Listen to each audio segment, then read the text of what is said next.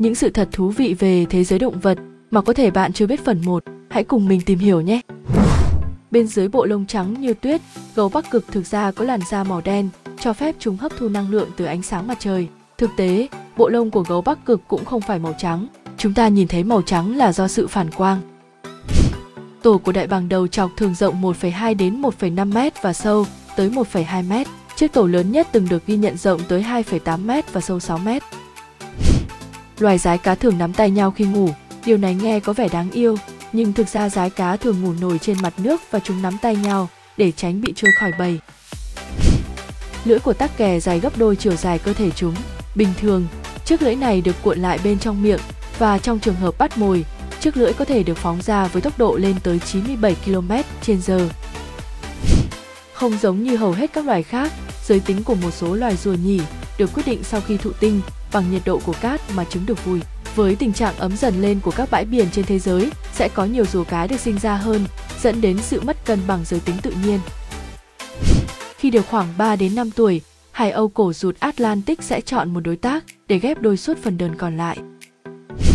Một chú cá mập có thể có tới 30.000 chiếc răng trong đời. Kẻ săn mồi hàng đầu của đại dương có nhiều hàng răng bên dưới hàng răng mà chúng ta có thể nhìn thấy được.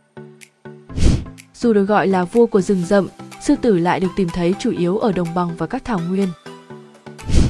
Giống như hầu hết các loài côn trùng, chuồn chuồn có 6 chiếc chân, nhưng chúng không được dùng để đi lại, mà được dùng để nắm, bắt và bám vào thân cây. Loài hươu có thể ăn tới 45 kg lá và cành nhỏ trong một ngày.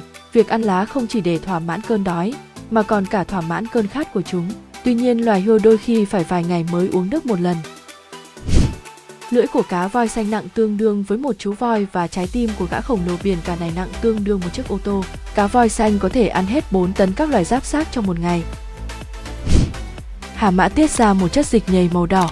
Dịch này chứa các chất chống thấm nước, có tác dụng như kem chống nắng, dưỡng ẩm da và thậm chí là kháng khuẩn. Chim ruồi là loài chim duy nhất trên thế giới có thể bay lùi. Những chú gấu trúc Bắc Mỹ thường có thói quen nhúng đồ ăn xuống nước rồi rửa qua trước khi ăn. Những sự thật thú vị về động vật, phần 2 mà có thể bạn chưa biết, hãy cùng mình xem nhé. Những dọc màu đen trên mỗi con hổ cũng độc nhất vô nhị như vân tay của con người. Với sứa bất tử, bất tử là một cách sống. Loài sứa dài chỉ 4,5mm này không bao giờ chết. Thay vào đó, chúng chỉ co lại cơ thể, thụt vào các xúc tu vào và chìm xuống đáy đại dương. Ở đây, một vòng đời của nó cứ lặp đi lặp lại như thế. Kangaroo sử dụng đuôi để cân bằng, vì vậy nếu nhấc đuôi một con kangaroo lên khỏi mặt đất, nó sẽ không thể nhảy và đứng vững. Một con mèo có tới 32 cơ trong tai, điều đó khiến cho chúng có khả năng nghe vượt trội. Voi có khả năng đánh hơi thấy nơi có nước từ cách đó 3 dặm, khoảng gần 5 km. Bạch tuộc nằm trong số những loài động vật thân mềm thông minh nhất cũng như có sự chuyển động nhanh nhạy và khéo léo khi nó sở hữu tới 9 não và 3 quả tim.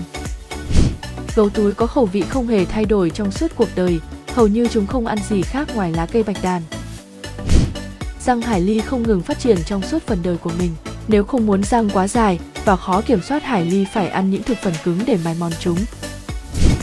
Loài vật sống ở các gành đá ven bờ biển hay các cửa sông có khả năng cực dị, hào có thể thay đổi giới tính để phù hợp với cách thức giao phối. Bướm sở hữu cặp mắt với hàng ngàn ống kính tương tự len trên máy ảnh nhưng tuyệt nhiên chúng chỉ nhìn thấy màu đỏ, xanh lá cây và vàng. Hươu cao cổ không hề có dây thanh quản như loài động vật cùng họ khác, lưỡi của chúng có màu xanh đen.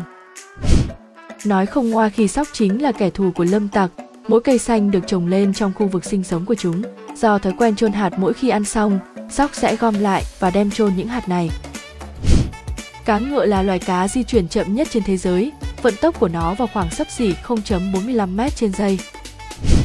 Lợn luôn nói chuyện với nhau. Các nhà khoa học đã xác định được 20 câu thoại của lợn được sử dụng tùy biến cho các tình huống, từ việc lôi kéo bạn tình đến câu nói tôi đói. Nếu thấy hay, các bạn hãy cho mình một tim và để lại bình luận cho mình biết với nhé.